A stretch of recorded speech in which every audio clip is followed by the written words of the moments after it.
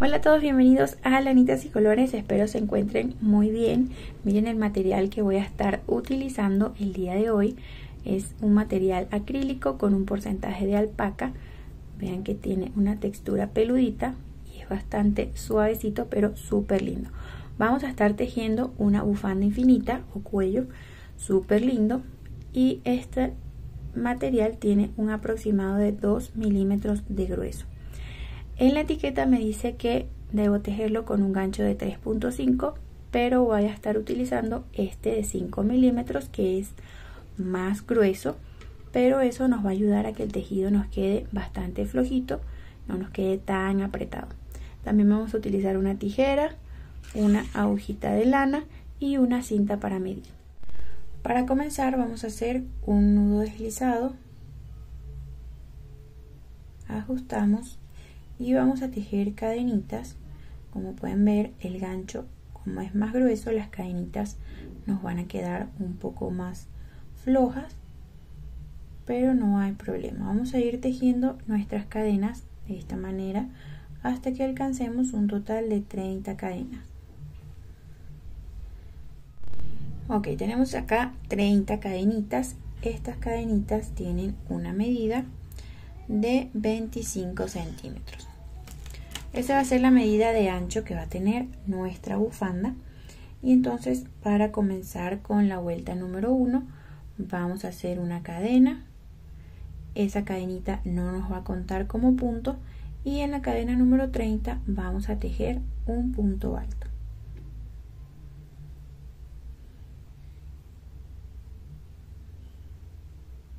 Vamos a la siguiente otra vez vamos a tejer punto alto. Siguiente cadena nuevamente un punto alto. Siguiente igual y así vamos a continuar hasta llegar al final de la cadena. Entonces deberíamos tener un total de 30 puntos altos.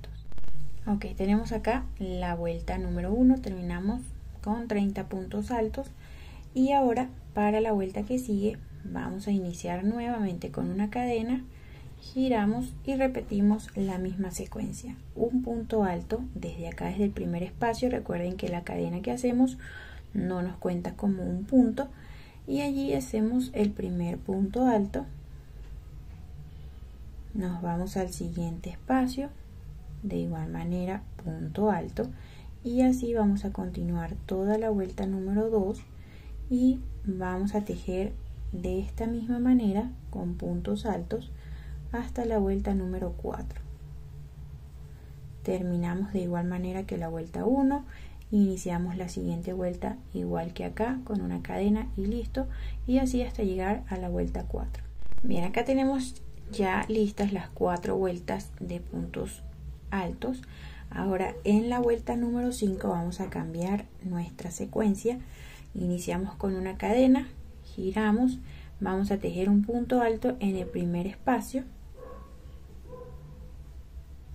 Y a partir del segundo punto vamos a trabajar puntos en relieve.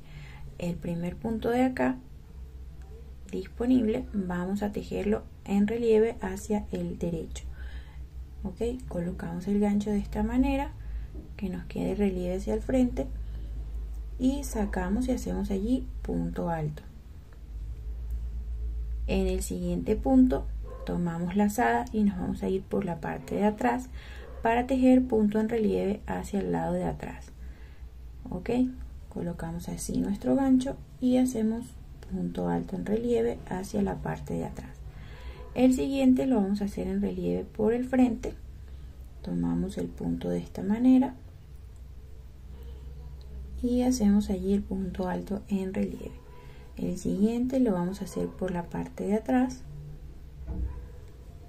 Y así como pueden ver vamos a ir continuando toda la vuelta. Vamos a ir repitiendo la misma secuencia punto en relieve por el frente y por la parte de atrás hasta llegar al final de la vuelta.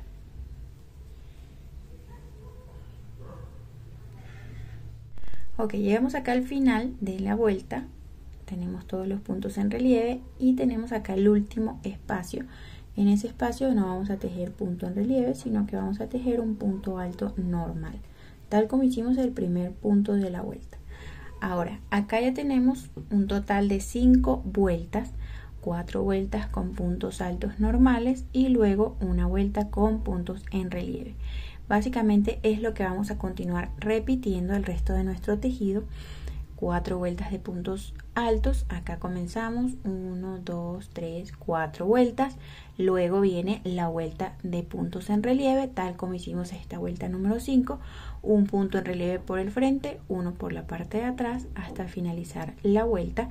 Y así vamos a continuar repitiendo este grupito de 5 vueltas. Siempre 5 vueltas 5 vueltas 5 vueltas hasta que alcancemos una medida desde acá que tenga aproximadamente 120 centímetros que va a ser el tamaño de nuestra bufanda infinita para darle dos vueltas.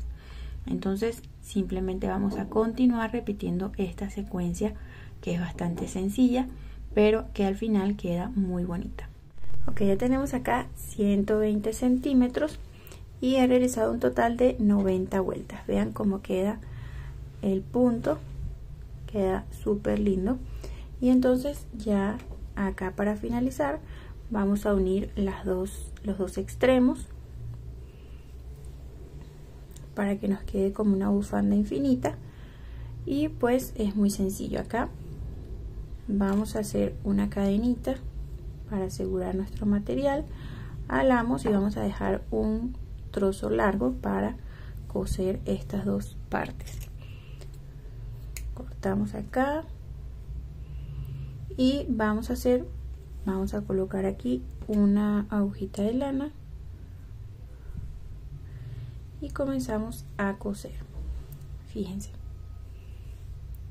Como tenemos acá nuestra última vuelta y nuestra primera vuelta que es la cadenita de base entonces vamos a ir uniendo de esta manera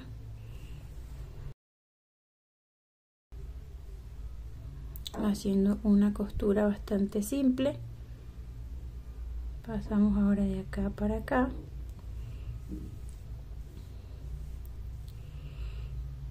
Y así vamos a ir uniendo hasta que lleguemos acá al final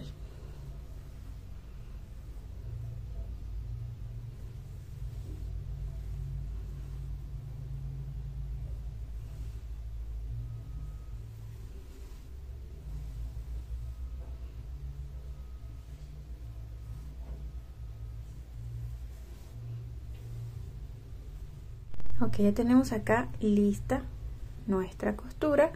Vean que del lado del otro lado el lado contrario de la costurita vean cómo queda casi no se nota que tenemos allí una costura. Entonces acá para finalizar hacemos un nudito.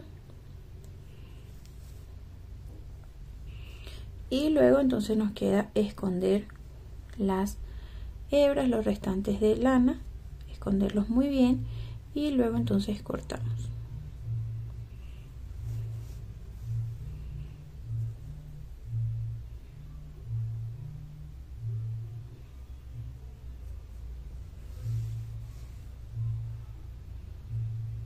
Bien, entonces ya tenemos lista nuestra bufanda. Vean que es súper sencilla de tejer.